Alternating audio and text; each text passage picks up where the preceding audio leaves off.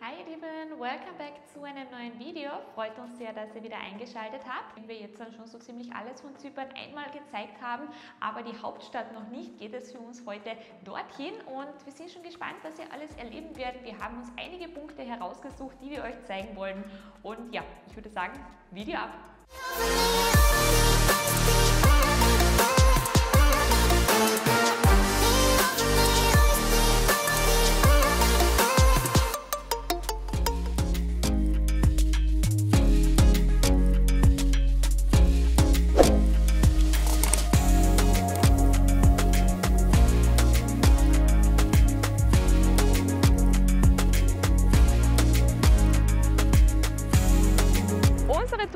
City startet im Herzen von Nicosia und zwar im südwestlichen Teil der Altstadt. Hinter mir können Sie noch die alten Stadtmauern erkennen. Und das erste, was wir uns hier anschauen, das ist der sogenannte Eleftheria Square, auch äh, Freiheitspark genannt.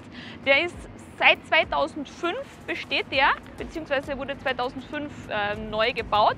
Und ja, wir schauen uns das jetzt mal an und vielleicht finden wir noch mehr, mehr Informationen unten im Park.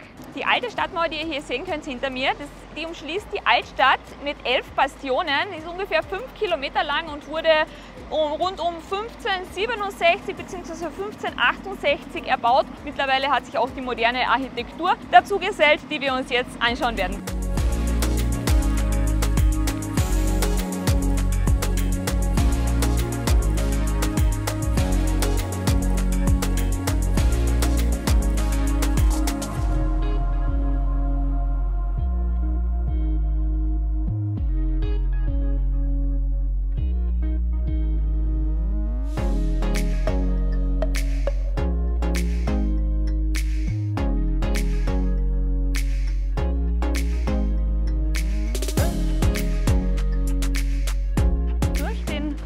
Freiheitspark sind wir jetzt durch. Ähm, sehr schöner Park, lädt zum Verweilen ein. Man kann auch hier eine Galerie finden. Am Anfang äh, ist ein Kiosk und ähm, der Platz wird begrenzt auf der westlichen Seite von einer großen Straßenkreuzung, genauso wie an der östlichen Seite.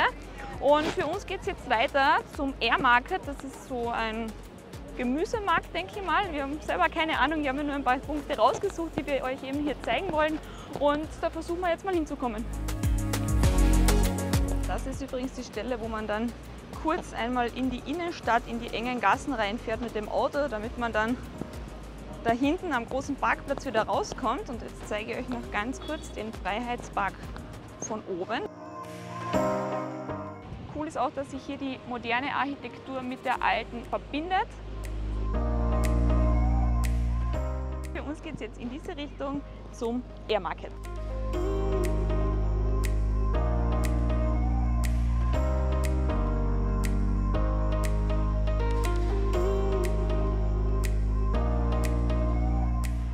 An der östlichen Seite des Parks kann man dann auch eine alte Bibliothek finden, relativ cool mit dem modernen gleich daneben. Und da haben wir dann noch einen großen Parkplatz und gleich da unten ist dann die große Kreuzung eben an der Ostseite und wir gehen jetzt mal diese Straße hinunter in Richtung des Marktes.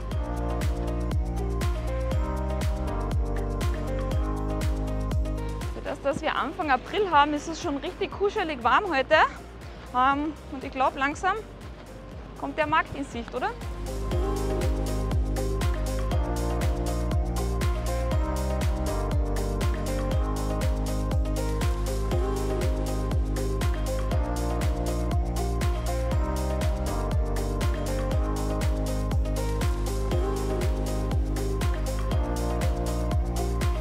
Wir haben es jetzt geschafft auf den sogenannten Air Market, das ist der wöchentliche Gemüsemarkt, der hier immer wann? mittwochs und samstags, Mittwochs und samstags. Äh, stattfindet. Ähm, wir werden uns jetzt hier mal umschauen. Wirkt ein bisschen klein für mich, ich habe mir das ein bisschen größer vorgestellt, aber schaut aus, als ob es sehr gutes, frisches Gemüse gibt. Ja, wir das, schaut, das schauen wir uns jetzt mal an. Auf den ersten Blick schaut es schon mega lecker aus.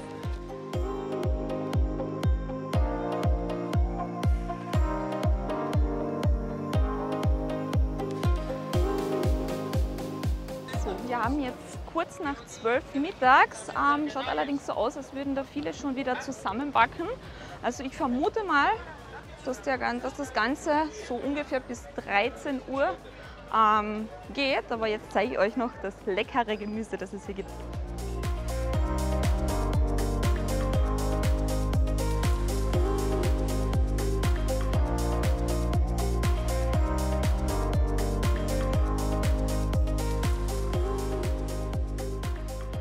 Nachdem wir beide die absoluten Nicosia-Profis sind, haben wir uns eine City Map zurechtgelegt, damit wir ungefähr wissen, wo wir hin müssen, dass wir euch die ganzen Sachen zeigen können. Und jetzt schauen wir mal, ob es da hingeht oder ob wir da runter müssen.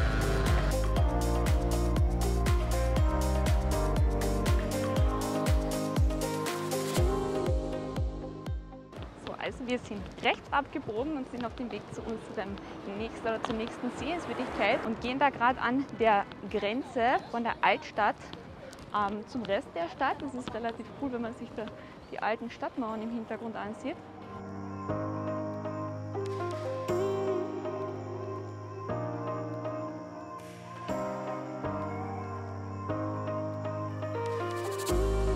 Wir sind jetzt hier beim sogenannten Liberty Monument. Das wurde 1973 errichtet zu Ehren der Menschen, die damals äh, in den Ende der 50er Jahren in diesem Zypern-Konflikt äh, mitgekämpft haben. Also ich will jetzt hier nicht zu politisch werden, aber wie ihr wahrscheinlich sicher wisst, ist ja äh, Nicosia die letzte große zweigeteilte Hauptstadt der Welt und es gibt immer wieder Anspannungen zwischen den Griechen und den Türken auf der Nordseite. Aber das will ich jetzt gar nicht vertiefen. Wir werden schauen, dass wir uns weiter hier auf die Suche nach weiteren Sehenswürdigkeiten machen.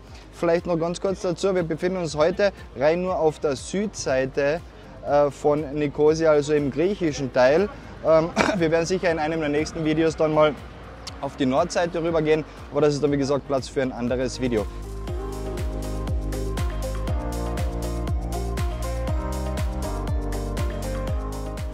Seht ihr ein sogenanntes Mapboard. Die sind hier in der ganzen Altstadt verteilt und hier am, am Board kann man sehen, wo die überall verteilt sind. Wir gehen jetzt einmal über die Straße. Da befindet sich das alte Aquädukt und dann geht es ungefähr vier Minuten da rein zu unserem nächsten Spot.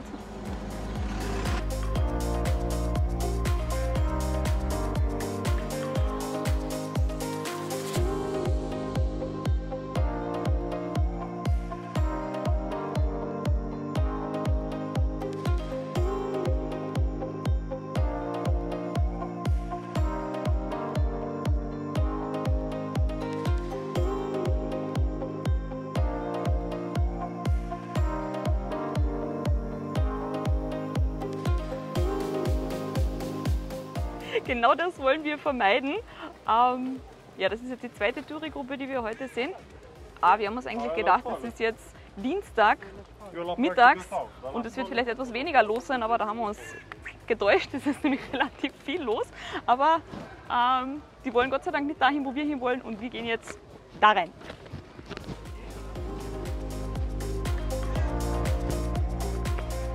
Wir sind hier vom Cypress Folk Art Museum. Ähm, das Ganze kostet heiße 2 Euro Eintritt für Erwachsene und einen Euro für Studenten. Also das ist sicher relativ cool. Äh, nachdem wir aber so viel auf der Liste haben, werden wir das jetzt nicht alles durchgehen. Es sind heraus ein paar kleine Sachen, äh, die an die vergangene Zeit erinnern, so wie der Heuwagen, der ist relativ cool.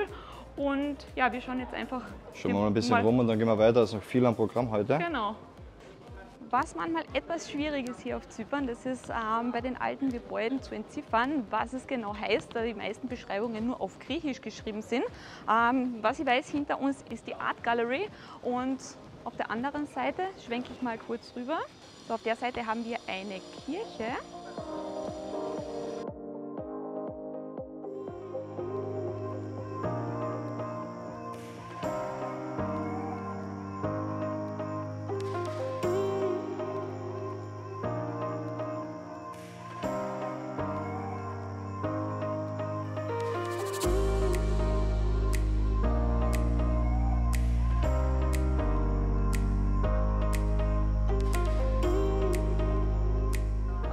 Relativ selten sieht, das ist ein Hammambad bzw. eine kleine Wellnessoase mitten in der Stadt.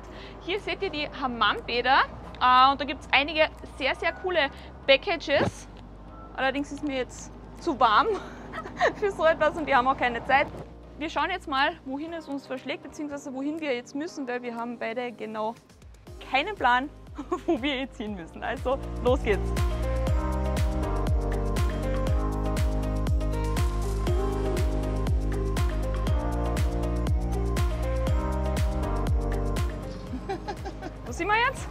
Wir sind wieder am Gemüsemarkt.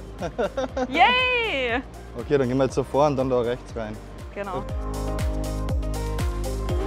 Wir sind jetzt eine gute Stunde hier im Kreis gelaufen. Der Mario hat jetzt eine kleine Stärkung geholt. Jetzt gibt es erstmal ein kühles Wasser und jetzt machen wir uns auf den Weg zu einem unserer Lieblingsrestaurants hier in Nicosia. Ich meine, so viele kennen wir ja nicht, aber bei diesem, wo wir jetzt hingehen, waren wir schon ein, zwei Mal und das ist absolut empfehlenswert.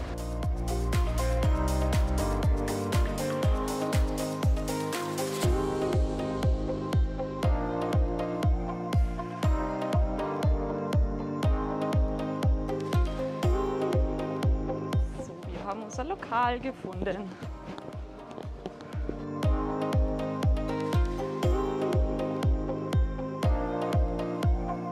So, angekommen bei unserem Lieblingslokal ähm, beim Fanus. Und zwar befindet sich der eine Querstraße neben der Ledrasstraße. Das ist die Haupteinkaufsstraße hier in Nicosia.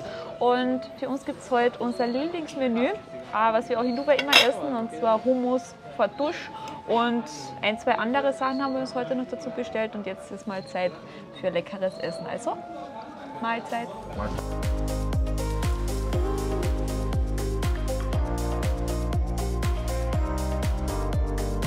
Essen war super lecker. Ähm, wir sind jetzt eine Querstraße weitergegangen und zwar auf die Ledras Street. Die beginnt genau dort, wo wir unser Video angefangen haben, und zwar am Platz der Freiheit und geht bis zur Grenze, also bis zur Green Line, die wir euch dann auch noch zeigen, durch. Und wer außerhalb der Mall shoppen gehen möchte, der ist da genau richtig, denn da sind die ganzen äh, Geschäfte, kleine Bars, Cafés und das schauen wir uns jetzt mal an. Kommt's mit.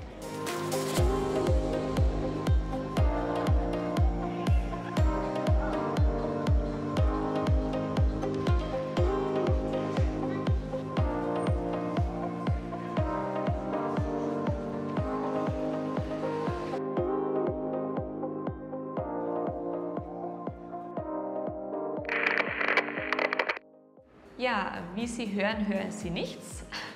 Uns ist der Akku vom Mikro ausgegangen und wir haben das erst ja, bei der Post-Production dann gemerkt. Und zwar sind wir hier am Grenzübergangspunkt gestanden in der Ledras Street, der seit 2008 der einzige Übergangspunkt innerhalb der Altstadt ist und auch nur für Fußgänger geöffnet ist. Derzeit braucht man einen PCR-Test, um, um das Ganze passieren zu können. Das wird auch seitdem von der UN bewacht und das ist schon ein sehr mulmiges Gefühl, wenn man dort genau an diesen Grenzen steht, wo die Straßen abgesperrt ist und dann dahinter die ganzen kaputten, verlassenen Häuser sehen kann.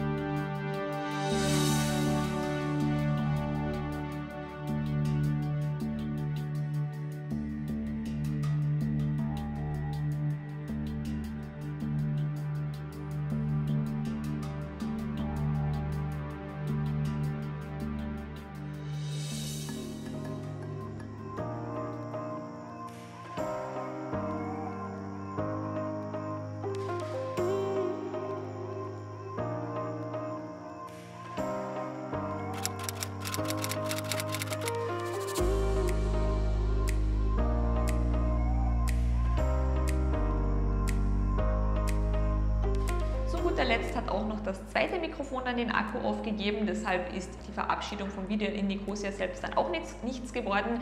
Jedenfalls waren wir zweieinhalb Stunden in der Altstadt unterwegs und haben uns einige Sachen angesehen.